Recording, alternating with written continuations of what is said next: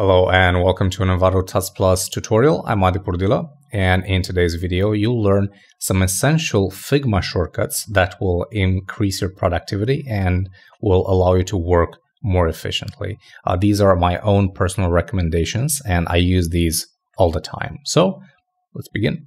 So we're in here in Figma.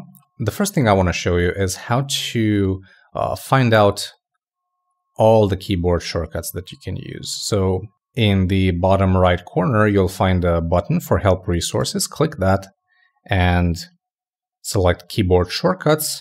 Or if you're on Windows, press Control Shift question mark.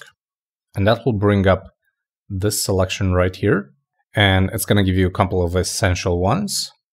But then you can go into each individual category and see all the shortcuts that are available. And the cool part is, right now they're all kind of grayed out.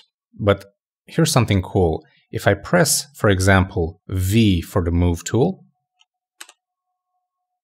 see how it turned blue? That means you have used that keyboard shortcut. Uh, all of these are grayed for me right now because uh, this is not my main workstation, so I don't use Figma on this computer. But you'll see that as soon as you start using these shortcuts, they will be highlighted in blue, which is pretty cool. Now, let's start with the most basic ones. Uh, to create shapes, I use R for rectangle, L for line, O for ellipse, and that's really simple to remember. Just uh, think about the shape that you're creating and then the letter O. T I use for text and F for frame. Once you get to learn these, it's going to be so much easier for you. Now, let's actually say that I have these elements here, I'm zoomed in, and I want to move around my page and see various elements. Well, you can do that with the uh, hand tool or H. So you can press that, click and drag to move around. And then you would switch back to any other tool you were using. But there's a faster way. You can pan by using by holding down space and dragging with your mouse. This is the same as using this tool, except when you release space, it the, the tool that you have currently selected at that time stays selected. So it's really simple. Just hold down space and drag to pan out. Really cool. Now, the next uh, shortcut is for setting the opacity on a given element. For that, you can select the numbers from 0 to 9. So 0 means 100%. 1 means 10%. Let me just change the color here. 2 means 20%, and you can see that Figma tells you the action that it took. 3, 4, 5, 6, 7, 8, 9, and 0 again for 100%. Now, you saw just now that pressing two numbers in rapid succession for 5, for example, we'll set the opacity to 45. 23, 56, 78. And this is different from pressing 7 and then 8 with a delay in between them. Those will change the opacity to 70% and 80%, but pressing 7, 8 will set it to 78%. Now, what about zooming? You can zoom in and out using the following keyboard shortcuts. Shift 1, and this works for both Mac and uh, Windows. So Shift 1 will zoom to fit. So it's going to have all of your elements fit within your canvas. For example, if I draw another rectangle here and I press Shift 1,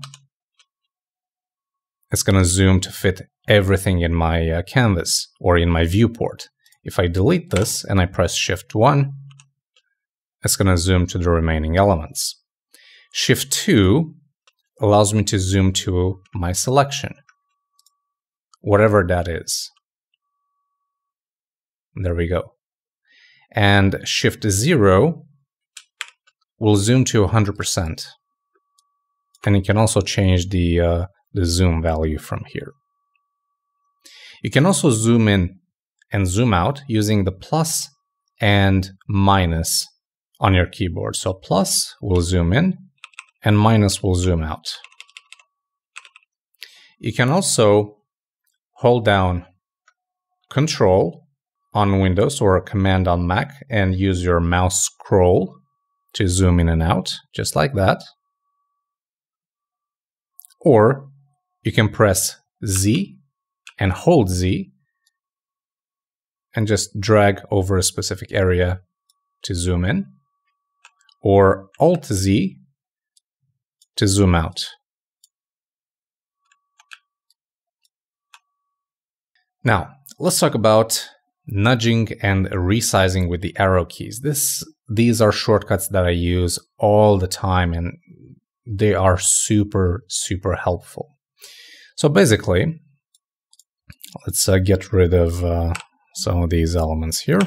Nudging means moving an element in all directions. You can do that by using the arrow keys on your keyboard. So up will move the element up, down will move it down. Same story for left and right. Now this will move the element one pixel at a time. If you hold down shift, it's going to move it 10 pixels at a time. Now to resize an element with the arrow keys, you need to hold down Control and then use up, down, left, right. So if I hold down Control on Windows or Command on Mac and the down arrow key, the height will be changed. So look at the height 1, 2, 3, 4, 5, 6, 7, 8, 9, 10. And that's 10 pixels. I can also hold down Control and Shift at the same time. And that's to resize the element 10 pixels at a time instead of 1 pixel at a time. So I can change the height using up and down, and I can change the width using left and right arrow keys. Really, really simple. Another uh, keyboard shortcut that I use is auto layout or add auto layout. So if I have two elements like so, and I want to add an auto layout, I can select both of these and press Shift A regardless of, uh, of the platform. And that's going to automatically add an auto layout. If I want to group these two elements, I can select them and I can hit Control G on a Windows, Command G on a Mac to create a group with the two of them. Now, another very useful keyboard shortcut is the one for the color picker. So let's say I want to match the color of this ellipse with the color of this rectangle.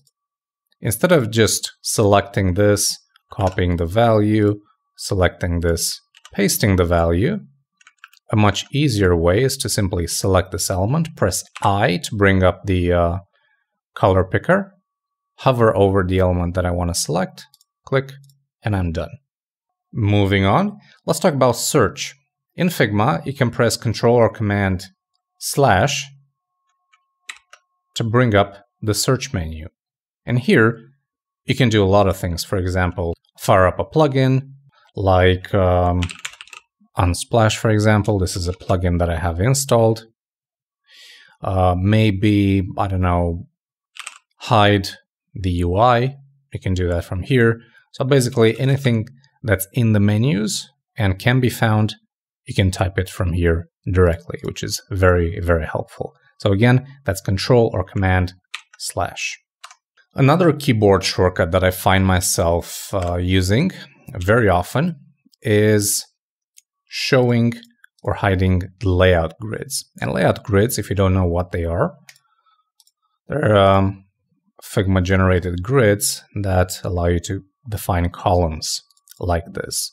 Now, it's really important to have a handy keyboard shortcut because you don't want these on all the time. The only time you want them visible is when you're aligning elements to them. So instead of um, just clicking on the artboard and clicking this little button here, which is a two-step process, you can simply hit Control Shift 4 to hide or show that layout grid. It's really very simple. Now, if you have a document with multiple pages, it's really easy to switch between them using the page up and page down keys on your keyboard. Another keyboard shortcut that I use all the time is duplicate. So for example, if I have an element here and I want to duplicate it, well, I can simply select it, hit Control or Command D, and then move it in its respective position. Then, if I immediately hit Control or Command D, it's going to remember that position and continue duplicating that uh, that element using the same spacing, which is pretty cool. So duplicate, Control or Command D, and you can duplicate groups as well. It doesn't just work for uh, elements.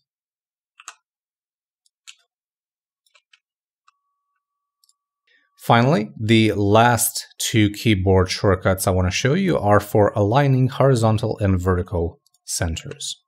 So let's say that we have a couple of elements. The traditional way to align these would be to select them, go up here, align vertical centers or horizontal centers. It really depends on what you want to do. But in Figma, it's much easier to use the Alt H or Alt V keyboard shortcuts to align the horizontal and vertical centers respectively. So that's really simple. Alt V to align the vertical centers or Alt H to align horizontal centers. And this works in both Mac and Windows. All right, and those are the keyboard shortcuts that I use to work more efficiently in Figma. Thank you for watching. I hope uh, this tutorial was uh, useful for you. I'm Adi Purdila, and until next time, take care.